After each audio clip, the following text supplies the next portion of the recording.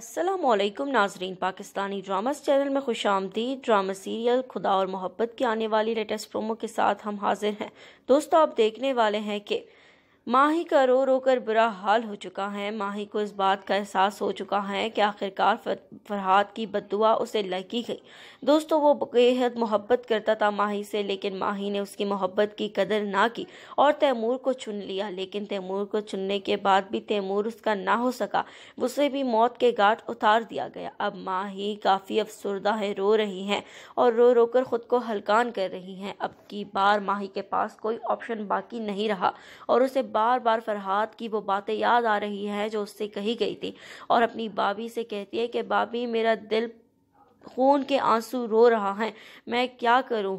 جہاں پر یہاں اس کی والدہ کو بھی معلوم ہو جاتا ہے، ماہی کے دل کا راز، جہاں پر وہ بھی کافی غصہ کرتی ہے اور کہتی ہے کہ تم یہ گل کلا رہی تھی اور مجھے پتہ ہی نہیں چلنے دیا۔